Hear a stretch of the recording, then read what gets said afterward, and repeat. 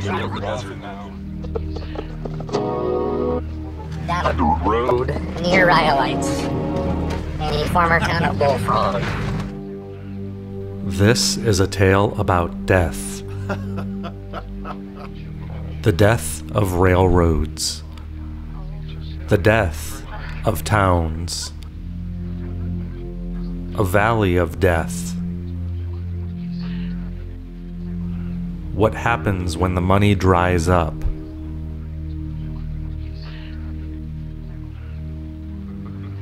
The desert will have its way. But Slim, we are hot on your trail.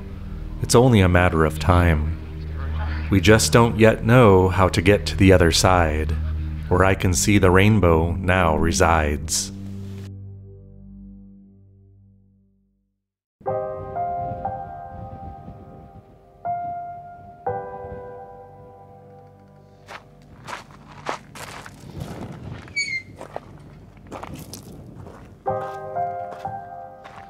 I'm here at the Bullfrog Rhyolite Cemetery. And there's this tribute to the men and women that settled this area, the prospectors. And I really love the uh, um, old prospector here with his pack mules. Could seldom seen Slim have been the inspiration for this uh, prospector? Probably not, but there he was one of many. right out in front over there are the Bullfrog Hills and on this camera, you may not be able to see it. I can see it with my own eyes, but the town of Rhyolite is there. Um, so this is where the cemetery is. It's really like in a kind of hard to find location. It's not off the paved road. Um, there's like a dirt road that comes back here. So you'll see a couple brown signs that say go to the cemetery. Well, once you turn on the dirt road, don't lose patience. You got to come down quite a ways to get over here. This is a really neat graveyard really fallen into pretty much severe disrepair. A lot of the uh, markers are unreadable. You got wooden headstones, completely worn with time. You could see, for example, there's not any discernible writing on that now, nor on this side.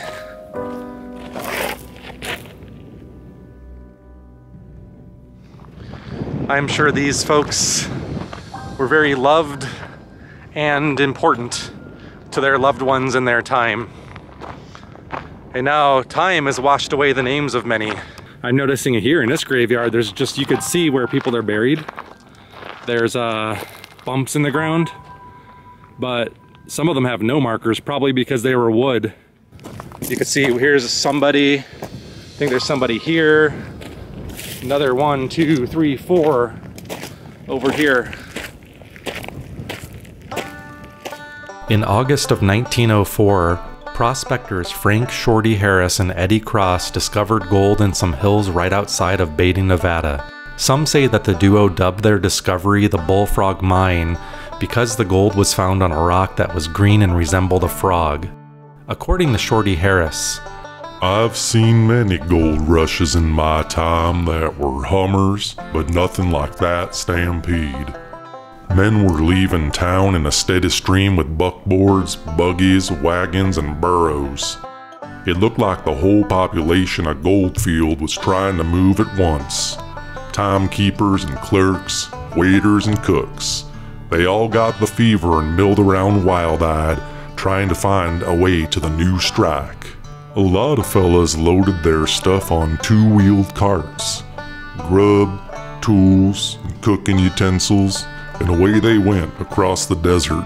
Two or three pulling the cart and everything in it rattling. Many even hiked the 75 miles pushing wheelbarrows. At its peak around 1905, the little mining town of Bullfrog hosted hotels, saloons, and even a bank. But by 1906, businesses in Bullfrog were relocating just less than a mile up the road to a town called Rhyolite. Rhyolite had prevailed as the shining beacon of modern convenience in this otherwise remote stretch of Nevadan desert. One of the last boom towns of the Nevada gold and silver rush era. Ah, Rhyolite. I mean, there's not much left of this once booming city. A city or town that had lots of uh, modern conveniences for the time, like uh, running water, electricity, even an ice cream parlor I heard. this was quite the place, and there's so little of it left. And there's a reason for that that we'll get into, but let's go take a look. This is one of my favorite buildings here, the Porter Brothers store. You'll see it in lots of photos, and we'll do some uh, time travel here in a moment, but you can still see up there, I forget what that's called, but that does look like maybe that uh, classic revival style. Look at the stone, very reminiscent of everything we've seen on this trip. I'm using a book here to try to line up. See the Porter store there in the middle? I wasn't kidding when I told you this whole street was just wall-to-wall stores. And that's all that's left. So once again, see the mountain in the background there? Isn't that amazing? I mean, this place had friggin' elephants parading down the damn street. Right here, right where I stand. Freaking elephants. What else is there to say? So Slim was said to arrive in Ballarat, another ghost town we're gonna go visit, um, in 1917. So I believe he probably spent a good amount of time in this area, and this would have been quite the place to, uh, to live at the time. This was a town, that this whole area was full of buildings, and out of all of the places we visited, so little is left today. It's almost eerie, like the Cook building over here. This is probably one of the most famous buildings here. Um, really happened at the, uh, the height of the boom here.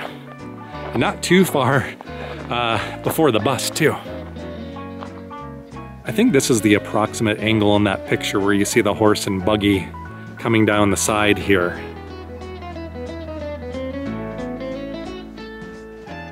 Such an amazing, amazing transformation in a sad way. Wow. The grandeur came flowing in as investors like Charles M. Schwab dumped money into infrastructure and railroads. The height of the Nevada gold and silver booms had arrived. The railroad reached all the way out to Rhyolite, connecting it to the same network of rails we explored during our time in Goldfield. What I would do to be able to go in there and explore. Wonder if that's ever possible. Now, if you look at old photos, um, I think this is the side of the building where the um, actual railroad went this way. Now, the reason why I said this railroad was so critical to this town is I don't think this town could have been built, first of all, without the railroads, because how are you going to get lumber and all of the building materials you need in here? I mean, if you haven't looked around yet, I don't know if you're going to be building a house out of Joshua trees. I hate to be the one to remind you, but this is a tale about death. The death of railroads, the death of towns. As quickly as Rhyolite rose out of the desert, it would find itself on a fast downward slope towards complete demise. Overvalued mines, combined with a financial panic in 1907 and other factors, caused investors to pull out their money. The bubble was popping, Miners moved to other towns to find work, and the businesses followed. In very short order, buildings in the town were dismantled and moved to nearby locations like Beatty.